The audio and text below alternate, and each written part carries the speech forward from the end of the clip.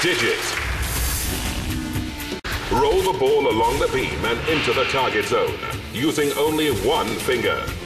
There is no time limit, but if the ball falls, you will lose a life. It's a narrow beam Wes.